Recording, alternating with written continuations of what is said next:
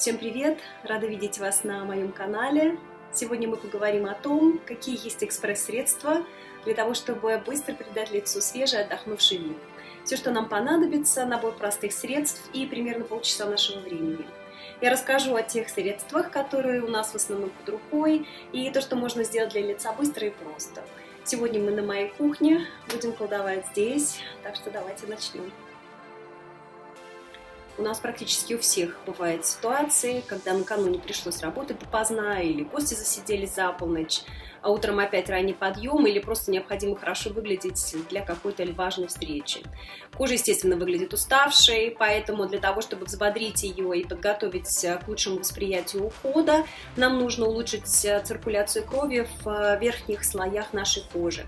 Одним из самых лучших способов для этого является контрастный компресс мы берем несколько кусочков льда и затем уже, а, в зависимости от того, насколько вы спешите, либо делаем эту процедуру в душе, проводим кусочком льда по лицу и потом подставляем лицо под горячую воду душа, либо просто берем э, полотенце для лица и смачиваем его в горячей воде и повторяем ту же самую процедуру, но только уже вне душа, да, чередуем полот кусочка льда и горячий компресс. А, это чередование нужно повторить по крайней мере до 5 раз.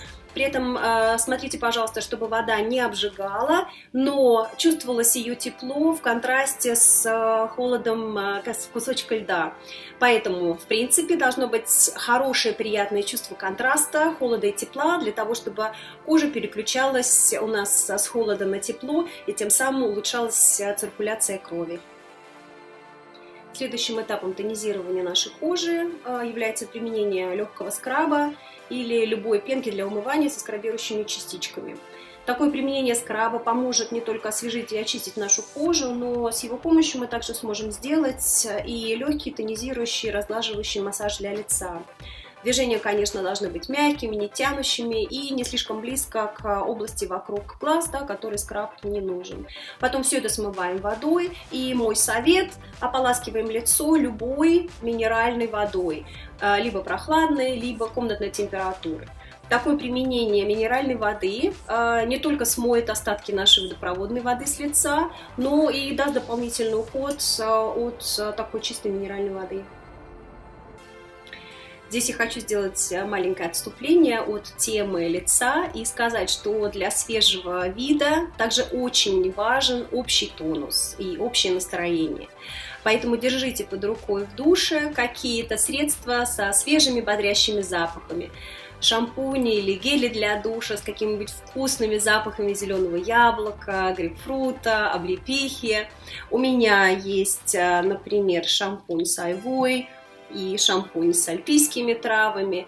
Я всегда их использую тогда, когда мне хочется поднять настроение и придать себе бодрости. Также хорошо иметь в запасе э, какой-нибудь кофейный скраб для тела. У кофе известный тонизирующий эффект, и просто нанести немножко этого скраба на линию декольте, на руки, на животик, и для многих это уже будет как свежая чашка бодрящего кофе утром. Все это, в принципе, наша обычная рутина, ничего особенного или дополнительного. Просто выбор продуктов будет э, немножко другим. Он будет направлен на общее ощущение свежести и бодрости, которое, конечно, передастся и нашему лицу.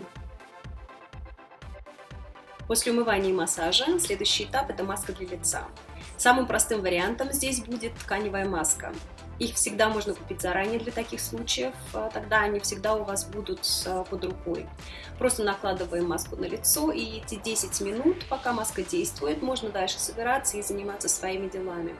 Для нашего случая экспресс-ухода я советую взять какую-то простую маску с увлажняющим компонентом, либо с витамином С. Нам нужно дать коже быстрое, хорошее средство, а ничто так не радует кожу лица, как увлажнение. И это касается любого типа кожи. На такие случаи держите дома маски, которые вы знаете, что они действуют очень хорошо для вашей кожи, что ваша кожа хорошо среагировала на эти маски. В принципе, на а, рынке есть огромное количество всевозможных увлажняющих масок, масок с витамином С, поэтому найдите свою и уже держите э, эту маску про запас для того, чтобы использовать для таких случаев. Есть также маски, э, которые имеют ярко выраженный лифтинг-эффект. Для меня такой маской стала гидрогелевая маска доктора Джарта. Это увлажняющая маска. Я делала на нее обзор а, в своем инстаграме. Я должна сказать, что на меня эта маска произвела просто невероятное впечатление. У меня было два дня подтянутое гладкое лицо, и эту маску я себе отметила, когда мне нужно а, выглядеть а, прекрасно и иметь безупречное лицо. Так что одним из вариантов экспресс-ухода после умывания и после массажа является тканевая маска. Для тех случаев, когда под рукой нет хорошей тканевой маски, посмотрим, что же можно самим быстро приготовить на скорую руку. Для быстрого тонизирования кожи, для ее подтягивания прекрасным средством является яичная маска. Для комбинированной кожи мы берем за основу яичный вилок – для нормальной и сухой кожи мы берем целое яйцо. У яичного белка прекрасный лифтинг-эффект. Для комбинированной кожи эта маска не только подтянет кожу, но также еще и прекрасно придаст э, матовость лицу. А, в взбитый белок добавляем немного лимонного сока. Держать такую маску нужно около 5 минут, она достаточно быстро подсыхает. Также э, в взбитый белок э, можно добавить немножечко огурца, да, натертого на терке. Все это вместе смешиваем и тоже держим порядка 5 минут. Также в взбитый белок можно добавить немножко мелкой овсянки.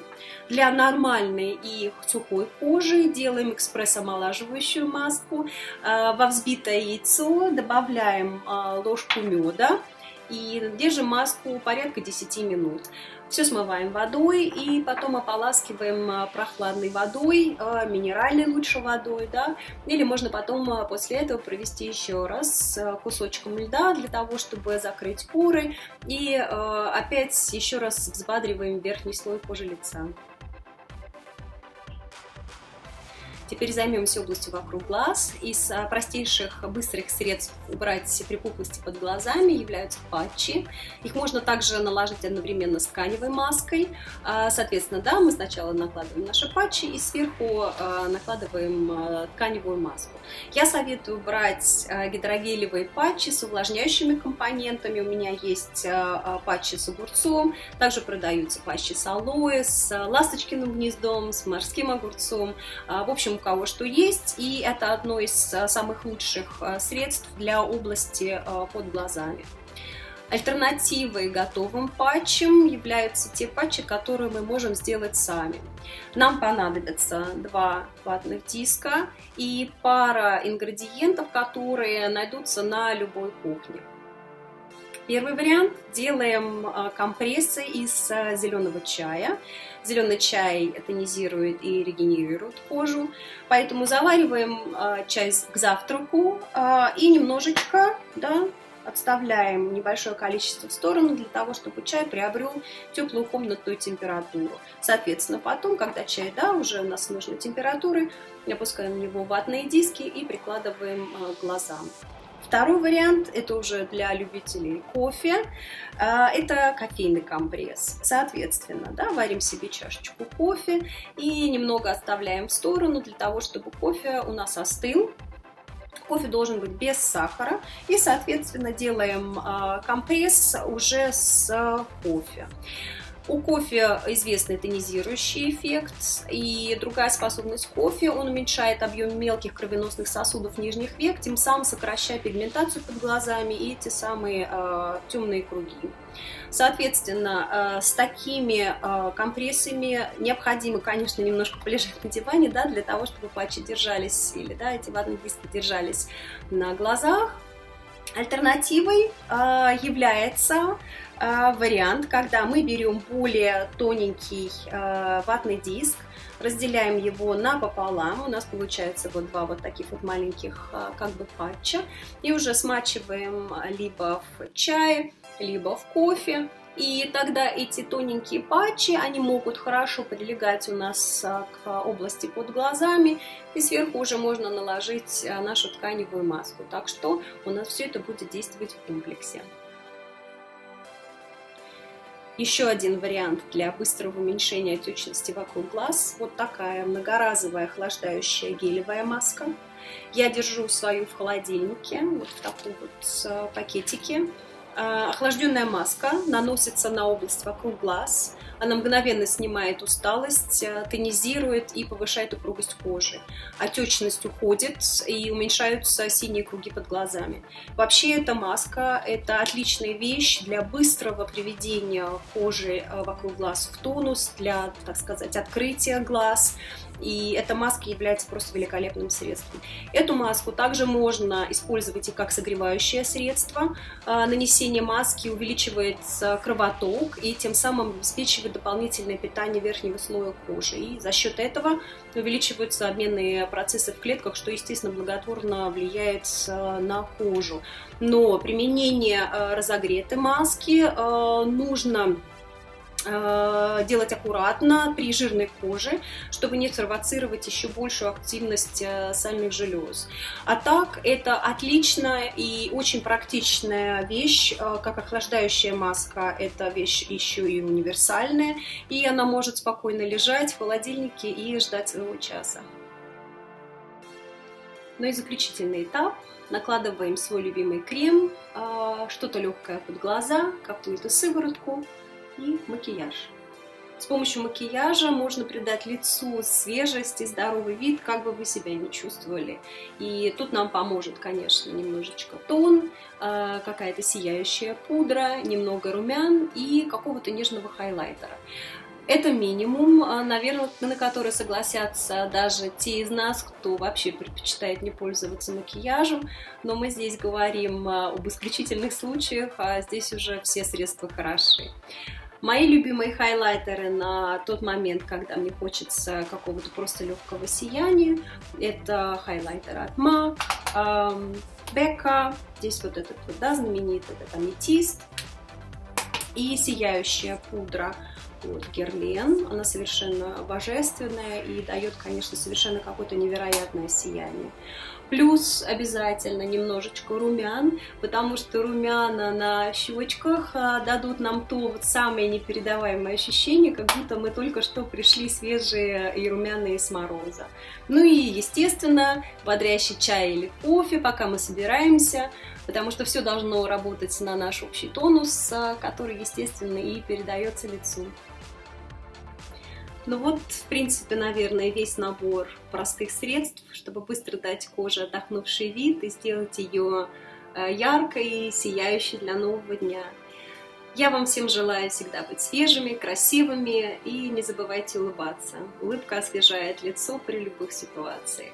Подписывайтесь на мой канал. Всех обнимаю и до встречи в новом видео.